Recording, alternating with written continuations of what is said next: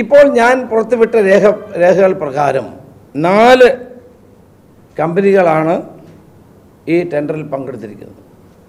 Akshara enterprises India private limited Ashoka build con limited Gujarat infotech S R S S R I T India limited എന്നീ കമ്പനികളാണ്. ഇതിൽ Gujarat Infotech ഒഴിച്ചുള്ള മറ്റ് മൂന്ന് കമ്പനികൾക്കും technical ഇവാലുവേഷന്റെ qualification നൽകിയുണ്ടായി. എന്നാൽ യോഗ്യതയില്ലാത്ത അക്ഷര എന്റർപ്രൈസസ് പ്രൈവറ്റ് ലിമിറ്റഡിനെ എങ്ങനെ ഉൾപ്പെടുത്തി? ഇതാണ് നമുക്കറിയേണ്ട ഒരു പ്രധാനപ്പെട്ട കാര്യം. പദ്ധതിയുടെ ടെൻഡർ നേടിയ S R I T traffic നിരീക്ഷണത്തിലുള്ള camera വെച്ചുള്ള മുൻപരിചയം ഇല്ല അവർക്ക് എക്സ്പീരിയൻസ് ഇല്ല എന്നത് വളരെ വ്യക്തമായ കാര്യമാണ്. അത് കാരണം അവർ അഞ്ചോളം കമ്പനികളെയാണ് ആശ്രയിച്ചത്. അതും എല്ലാം കടലാസ് കമ്പനികളാണ്. പ്രസാദിയോ അൽഹിന്ദ് അതോടൊപ്പം തന്നെ ട്രയോസ് ലൈറ്റ് മാസ്റ്റർ എന്ന് തുടങ്ങിയിട്ടുള്ള കമ്പനികൾ. ഇതെല്ലാം തട്ടിക്കൂട്ട് കമ്പനികളാണ്. കടലാസിലുള്ള കമ്പനികളാണ്. കെൽട്രോൺ ആദ്യം പറഞ്ഞു ഞങ്ങൾ ഉപകരാർ കൊടുത്തത് അറിഞ്ഞില്ല എന്ന് പറഞ്ഞു. ഇപ്പോഴവരത് സമ്മതിക്കുന്നുണ്ട്.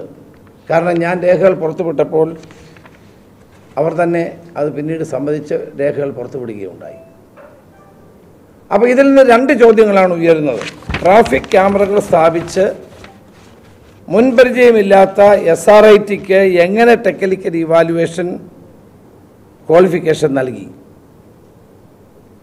പത്ത് വർഷം പ്രവർത്തന പരിചയമില്ലാത്ത അക്ഷര എന്റർപ്രൈസസ് പ്രൈവറ്റ് ലിമിറ്റഡിന് ടെൻഡർ നടപടികളിൽ എങ്ങനെ ഉൾപ്പെടുത്തി?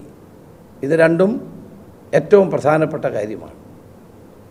അപ്പം ടെൻഡറിൽ കൃത്യമായ ഒത്തുകളി നടന്നു. കെൽട്രോൺ ടെൻഡർ വിളിച്ചതിൽ ഗുരുതരമായ ക്രമക്കേട് ആദ്യഘട്ടത്തിൽ തന്നെ ഉണ്ടാവുകയാണ്. നേരത്തെ തയ്യാറാക്കിയ തിരക്കഥ അനുസരിച്ച് ടെൻഡർ നടപടികൾ നടന്നുവെന്ന് തെളിയിക്കുന്ന കെൽട്രോൺ തന്നെ പുറത്തുവിട്ട രേഖകളാണെന്ന് എല്ലാവർക്കും ബോധ്യമുള്ള ഒരു കാര്യമാണിത്.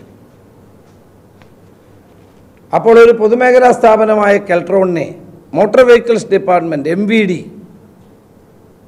ഈ ക്യാമറകൾ വെക്കാനുള്ള ചുമതല ഏൽപ്പിച്ചപ്പോൾ അവർ ഒന്നിൽ സ്വയം ചെയ്യണമായിരുന്നു. സ്വയം ചെയ്യാതെ അവർ കൃത്രിമമായ മാർഗത്തിലൂടെ ടെൻഡർ ഉണ്ടാക്കി ടെൻഡറിലൂടെ S R S R I T എന്ന് പറയുന്ന അവർക്കിഷ്ടപ്പെട്ട ഒരു കമ്പനിക്ക് നൽകാനുള്ള കുൽസിതമായ നീക്കമാണ് നടന്നത് എന്ന് ഞാൻ ഈ പുറത്തുവിടുന്ന രേഖകൾ കൊണ്ട് നിങ്ങൾക്ക് മനസ്സിലാവും.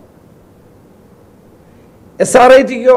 അവർക്ക് ഒരു ടെക്നിക്കൽ ക്വാളിഫിക്കേഷനും ഇല്ല. അതുകൊണ്ടാണ് ട്രയോസ് എന്ന് പറയുന്ന ഒരു കമ്പനിയും മറ്റൊരു കമ്പനിയും ചേർന്ന് അവരുടെ സർട്ടിഫിക്കറ്റ് വാങ്ങിയിട്ട് നടപടികളുമായിട്ട് മുന്നോട്ട് ഈ ടെൻഡറിൽ അവർ പങ്കെടുക്കുന്നു. എസ് ആർ ഐ ടി പിന്നീട് ഈ തട്ടിക്കൂട്ട് കമ്പനികൾക്ക് സഹായം തേടി.